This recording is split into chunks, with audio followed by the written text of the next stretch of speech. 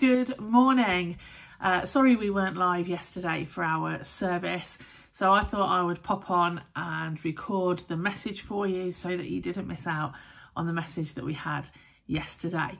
And here at ECC, since January, we have been looking at the key principles of our vision statement, and they are to seek God, to meet with God, and to make Jesus known. Um, and we're currently in the series of Am I Available? Um, so yeah, we had a great message from Angus last week to start our new series. But I wonder if we have actually taken any time to ponder that question and what it actually means for ourselves. Um, I know over the last few weeks, as I've been preparing for this new series, um, I myself have been particularly challenged about my own availability. Um, what does it mean? What does it look like? What can I learn from the Word of God on this subject? And what can we learn from Jesus and how he lived here on earth? Um, and the blueprint that he left us to follow. And, you know, I, I think, am I available? I, I think to myself, yes, I am fully available to God and to his call. But, you know, when the tough sacrifices come, I have had to ask myself, what my response is. And do I put boundaries up around my availability or certain areas of availability? Now, I'm not talking about um, being wise um, and uh, taking care of ourselves. I'm talking about whether we're available when God calls. And in the Breakfast of Champions on Thursday last week, Andy Elmes said this. And I love it when you're preparing and God kind of underlines and highlights what it is that you're bringing for confirmation. And he said this yesterday, we shared on the importance of responding to God's word and how that, when we give response to it rather than just read it, we can release its potential and power into our lives and our situations. Wow. I mean, just take a moment to think about that the importance of responding to the word of God. And when we give a response, so a heart response, rather than just read it in our minds, then we can release its potential and power into our lives and into our situations. I think that's amazing. So much about walking in our God given destiny is about us responding correctly with due or correct response to God and His Word. You and me walking in God's plan for our lives is more about our response or our availability, I added that bit, um, to him than his intentions to us. So us walking in God's plan for our lives is more about our response and availability to him than his intentions. Understand that God's intentions for you are settled. He is not confused. And we know that because in Jeremiah 29 verse 11, it clearly says in the word that God knows the plans that he has for us. So he already knows the intentions for your life, for my life. It's settled, it's written. But the fact is that his intentions for us are activated in our lives when we respond to him correctly or make ourselves willingly available. And the Bible is a big old catalogue of people's responses that allows us to see the fruit of the lives of people who responded to God both correctly and incorrectly, um, who made themselves available and perhaps when it came to it found themselves unavailable. And their responses should inspire us with ours. And we're going to have a little look at a couple of those this morning. There are so many in the Word. It's exciting, isn't it, that God really showed us uh, and gave us a blueprint through the Word of God about how we can live available to Him. And I want to say this you know, the power of our greatest potential hinges on one simple thing. Can you believe that? Am I available to God?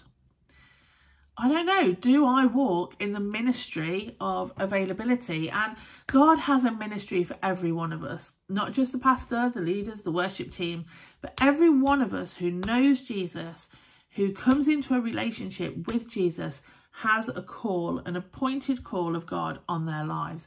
And that means everybody uh, here in this house, everybody watching this uh, on YouTube. If you know Jesus, then you've got a call on your life. If you don't yet know Jesus, he still has a plan and a purpose for you. That's amazing, isn't it?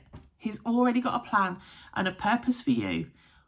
So when you come into that relationship with him, he releases destiny into your life.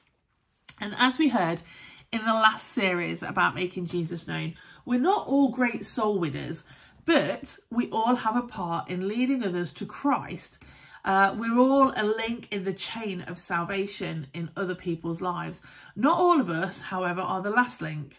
Uh, for some, it's inviting people to come. For some, it's bringing somebody to come. For others, it's sharing personal testimony, teaching, praying, listening, serving, and being available. Wow, that's a challenge, isn't it?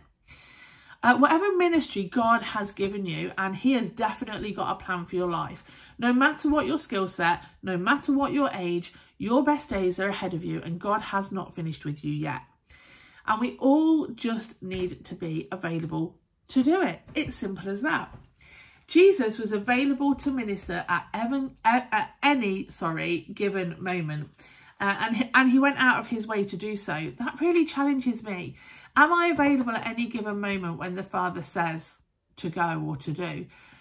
And do I or am I prepared to go out of my way to do so? And we know that Jesus goes out of his way to do so because when he met the Samaritan woman at the well, uh, there was a much easier route that he could have gone on his journey uh, and a much quicker route that he could have taken to get there. But Jesus knew that he had this appointed moment in time with this Samaritan woman at the well. And so he went out of his way to do so, so that she could get to know who he was and completely transformed her life and the whole community that she lived in. That's what happens when we make ourselves available. That's what happens when we go out of our way to do so. Before God will use anybody, we have to be available to be used. Nobody was consistently and mightily used by God in the Bible unless they were first making themselves available to him. So here are some examples, just in case you don't believe me. Samuel, in 1 Samuel 3 verse 4, it says, The Lord called Samuel and he answered, Here I am. Samuel was mightily used by God. Why? Well, because he was available. David was mightily used by God. Yes, David made lots of mistakes. He made lots of mess ups, which one of us don't? But he was available to God. When God asked him to go, he went. Gideon was available to God. I have no idea what Gideon must have thought when all those men were fearful and so God said, they've got to go. They're not really available to me. And then he's left with 300 but God had the victory because those people were available to him. Mary, she was the mother of Jesus. And there must have been maybe hundreds or thousands of virgins in Galilee and perhaps hundreds in Nazareth. But Mary was the one who went down in history. Why? Notice what Mary said when the angel told her of her chosen destiny. We read this in Luke 1, verse 38. Then Mary said, Behold, I am the servant of the Lord. May it be done to me according to your word. And the angel left. Wow. In other words, Mary was saying, Here I am, God. I'm available. Is it going to be easy? No, she must have been petrified. It just, it, I can't even imagine. But she was available to God and she trusted him, knowing that he had a plan and a purpose for her. Jesus a great example of uh, availability and he walked perfectly in the will of God. Why? Because Jesus was available. As the Son of God, he only wanted to do the will of God. He wanted to be available to the Father in whatever way that the Father wanted to use him. The disciples, well, they were mightily used because they were available. And we looked at this um, a couple of weeks ago when I brought the message in Matthew 4.22 where it says, and they immediately, they immediately left their nets to, to follow him. And so they immediately left the nets that defined their past and walked into what would define their future. They, my friends, were available. Paul When God called him, he was he was the worst person around, killing and putting into prison as many Christians as he could get his hands on. How could God use him so mightily? But we read about that in Acts 9 and we see that Saul encounters Jesus and then makes himself available to him. And boy, was he used mightily by God. Now then, you might say, Pastor Faye, I'm not a Samuel, I'm not a David, I'm not a Gideon, I'm not a Noah, I'm not a Mary, I'm not a Jesus, I'm not one of the first disciples, and I'm certainly not a Paul. I'm just me. God can't use me like that. I'm not really an anybody. In fact, I'm a bit of a nobody. And I want to remind you again, something that I said a few weeks ago. And there, there was this quote, God has a tendency of picking a nobody to become somebody in front of everybody without asking anybody, as long as we are available to him for his plans, for his purposes. And uh, he sure can, and he wants to. He wants to use you and he wants to use me if we'll make ourselves available. You know, just like Jesus used the little boy to feed 5,000 people plus, 5,000 people plus, what did the boy have? You know, all he had was five loaves, maybe we'd call them rolls today, and two fishes. I don't know, maybe you'd call it a tin of tuna. Uh, he didn't have much, but he was willing to make what he did have available for Jesus to use. You know, he could have looked at that and thought, well, that isn't enough to feed all these people. So I might as well just keep it for myself. At least then I'll get fed and I'm not going to get into trouble off my mom. But he made what he had available to Jesus and he showed how with that he fed 5,000 plus 5,000 men, sorry, plus women and children, who he was. So Jesus took the little that the boy had and he showed all of those people who he was, who his father was. That's amazing, isn't it? Here's a challenge. What have we got in our hands that God is asking us to make available to him? So that he can show our world who he is. Wow. If he can take five loaves and two fishes and feed all those people just so they can see who Jesus is, who God is, what can he do with the little in our hands when we make that ourselves and that available to him? He's going to show the worlds that we live in, that we circulate in, who he is, not for us, but for his glory. Oh, I think that's amazing. I'm so, I'm so excited by that. I'm so excited by that. Jesus took what he had, what that little boy had, he multiplied it and used it. And you know, not only was everybody there well fed, there were 12 full baskets left over for the disciples as well. He wanted them to know that when they put what they have into his hands, that he is going to outpour in an in abundance, not just a bit or a crumb, but they were fed. So they, they were full and there was enough left over for them as well. Shall we have a, look at another example? Okay, so I'm in Luke 5 um, and we're looking at verse uh, from verse 1.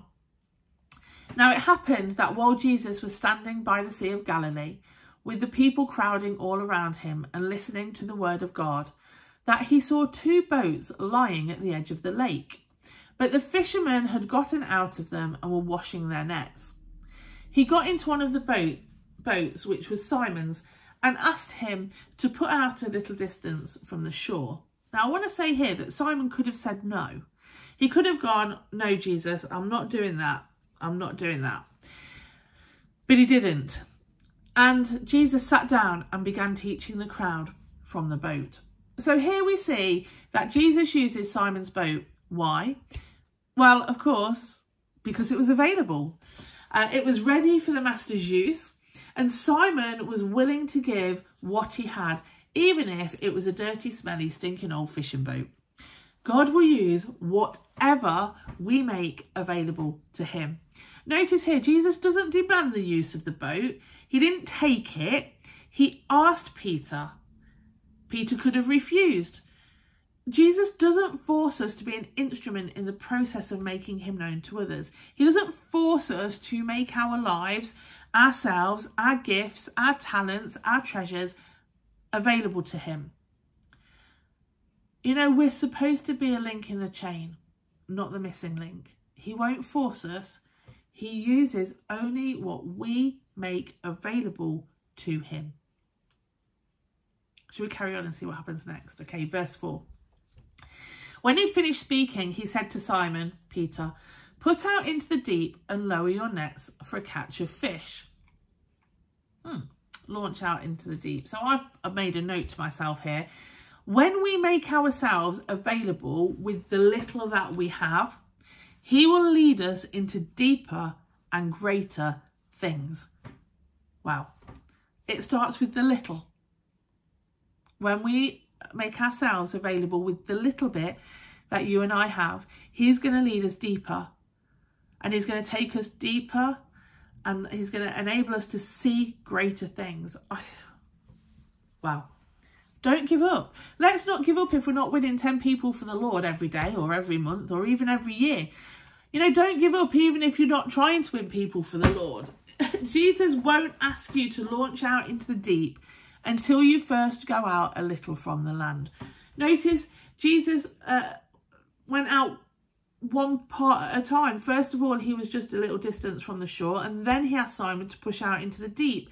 And Jesus is going to lead us one step at a time. And you know, I'm sure we'd all love to be leading 10 or 20 people to the Lord every day. But maybe, just maybe, your ministry isn't the last link in the chain. The reaping part Maybe the thought of leading someone to Christ makes you say, I can't do that.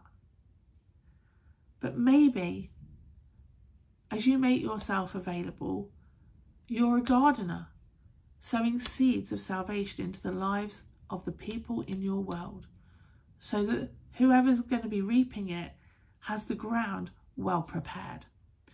The key is, my friends, is that we have to just make ourselves available first with what we have. And then we can go deeper and further into Him. But what do we have to do first? Well, first we have to let Jesus into our boats. And you know, too many people haven't let Jesus into their boats. He's still on the shore. We're glad to let Jesus save us and take us to heaven but we don't want him in the boat with us. We don't want Jesus to get too involved in our lives. We don't really want Jesus, perhaps, as the Lord of our life. You know, first we have to come to the point where we're willing to be available, to be willing for Jesus to use us, to be available to be a, link in the chain of salvation. Notice what Jesus told them to do here in, in uh, Luke 5 verse 4. Let down your nets. You know, if you want to catch fish, you have to let down your nets. I mean, generally speaking, fish don't just come and jump into the boat. If we ignore the lost people around us, they aren't going to get saved. They aren't going to get to know who Jesus is. The reality of the Saviour at work in my life and your life, a God who loves them, who cares for them, whose purpose and plans for them are good.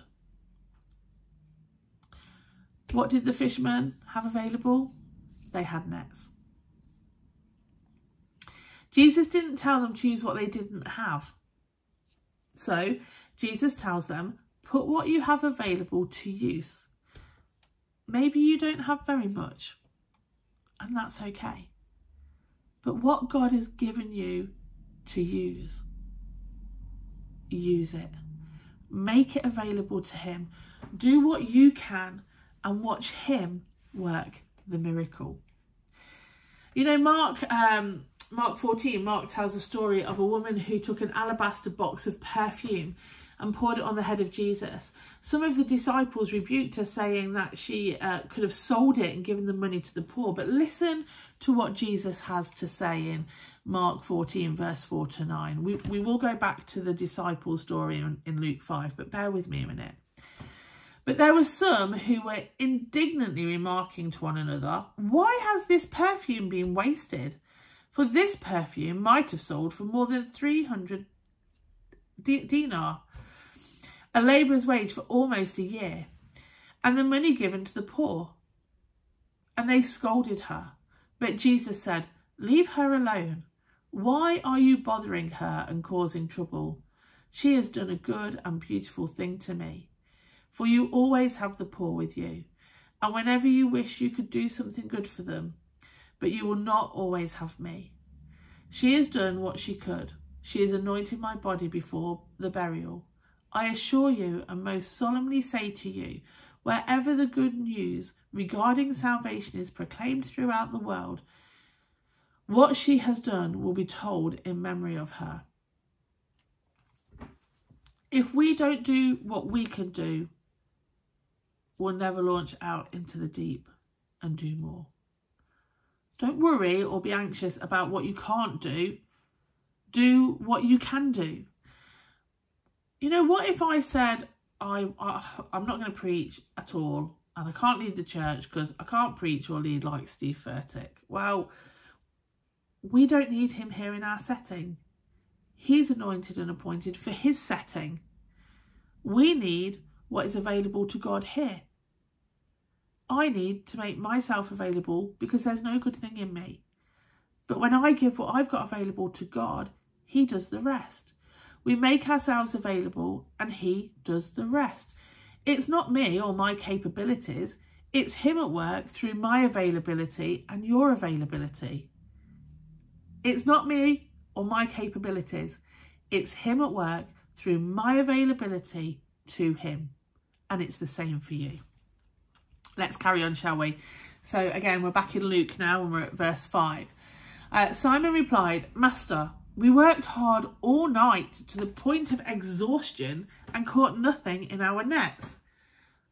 But at your word, I will do as you say and lower the nets again. Now, this is a verse where doubt tries to sneak in, but listen to this obedience prevails at night the, the fish are closer to the surface perhaps uh, i don't know we feel that we've failed god in the past and i want to say this don't let that keep you from making yourself available to god now.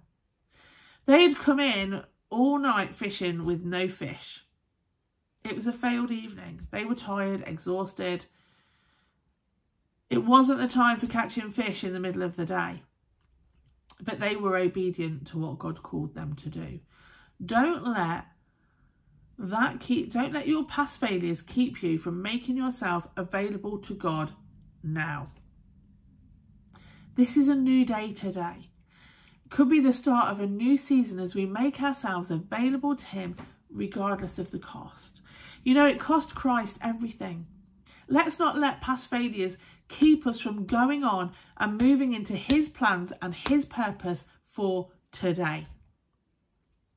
Don't let things that have been spoken over to you in the past stop you from being available for his plans and his purpose for your life and the life of other people today. I don't know, maybe you're weary of sowing seeds and seeing nothing in return. Well, it's time to make yourself available and cast our nets to the other side.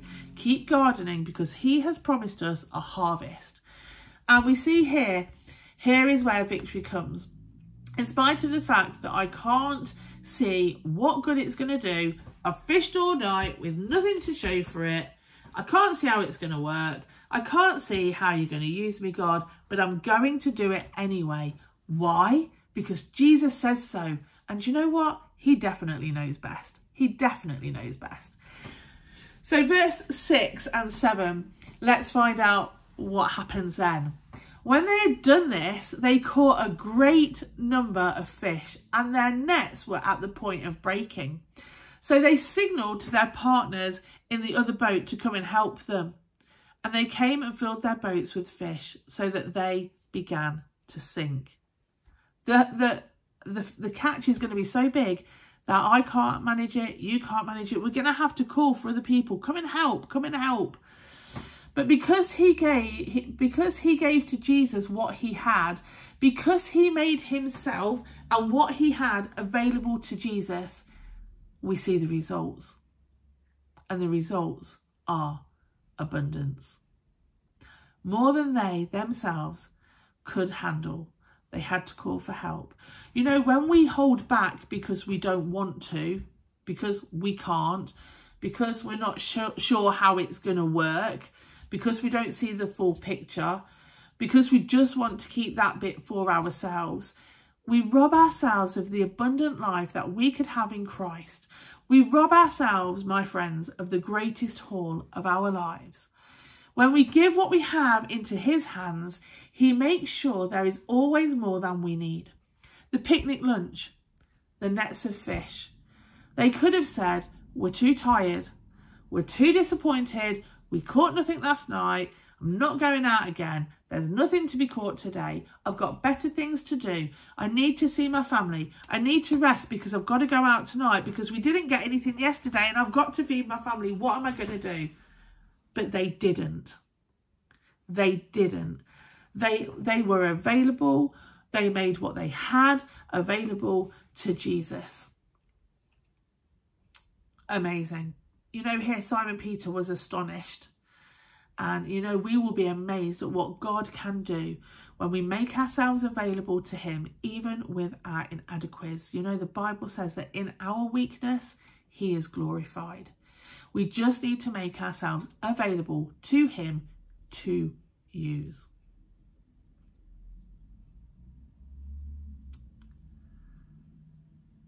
I mean, it amazes me that when we give him the little that we have, he transforms that into an abundance. Into an abundance. And he wanted these fishermen to go from fishers of fish to fishers of men. And they learned some valuable lessons in the boat that day, and we can learn them as well. And that is when Jesus speaks, we listen. Where God leads us, we make ourselves available and we respond and go. And what the Lord gives us, we make available to Him because He gave it to us in the first place anyway. Is Jesus in your boat? Or are we willing to sail through life alone? We'll never be blessed unless Jesus is the Lord of our lives and we're in the boat with him. We need to give our time and our talents and our treasure and our devotion to him, making our whole lives available to his call and his purpose. Let's not leave Jesus on the shore. We don't want to end up shipwrecked. It's time, church, to invite Jesus into every area of our lives, making ourselves available at the call. And I, I was thinking about um, a fireman, a friend of mine, one of my very, very close friends. We've been friends for ever. And um, her dad was a fireman. And I was thinking about the um, the beeper and when your beeper goes off as a fireman, you have got a certain amount of time to respond to the call. And I always used to remember that beep would go off and he would shoot off the settee and he would be out that door in seconds like his life depended on it. Because he understood when that beeper goes off he needed to respond immediately to the call. When he was on call he needed to be continually available to that uh, to that job to that call to that role. Because actually somebody else's life depended on his availability. So if he ignored the call,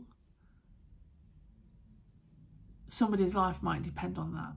And I think he had something like three minutes to get to the station, but you could guarantee that he would be there probably within a minute and a half. Uh, he didn't live too far from the station, but he'd have to run from home up to the fire station in Market Bosworth. And, you know, just like a fireman who's available to go at a moment's notice because somebody's life depends on it, we need to be available at the call of God immediately because other people's eternal lives are dependent on our availability to Jesus. When we make available what little we have, He's going to lead us into deeper and greater things. And He's going to lead us one step at a time. But we can guarantee the little that we have, when we give it to Him, there's going to be abundance. If we want to catch fish, we have to let down our nets. We have to make our nets available to Him. Remember at the beginning, I said the power of our greatest potential hinges on one simple thing Am I available to God?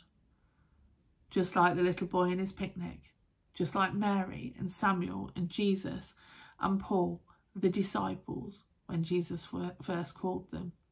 He's calling to us today to move from the shallows and into the deep, to make our lives available to his call and to his purpose, to be like that fireman who's available in an instant when the opportunity arises because somebody else's life depends on you and me being available to Jesus with all that we have.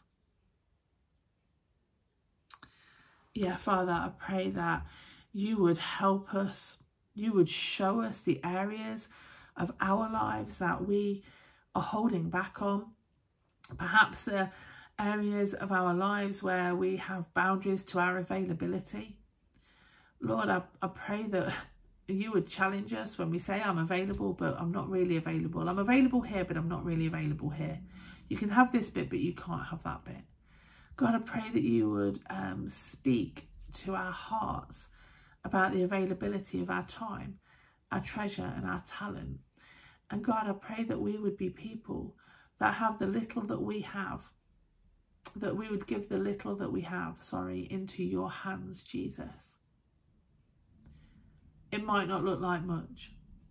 The little boy's picnic probably looked like not very much. I'm sure everybody thought, wow, that's not going to feed us, is it? But in the hands of Jesus, he worked a miracle to show other people who he was through what the little boy made available. And I pray today for a fresh revelation that when we make available the little that we have in our hands, you're going to multiply it to feed others so that they can see who you are for your glory and for the extension of your kingdom. Amen. Thank you for joining us today. I pray that you have enjoyed the word um, and that it's spoken to you. You can contact us here at the church office if you have any questions about anything that we've talked about today or that I've bought. And there's always somebody available to pray with you and to chat with you. Uh, have a great week and we will be live um, next Sunday morning. God bless. Bye bye.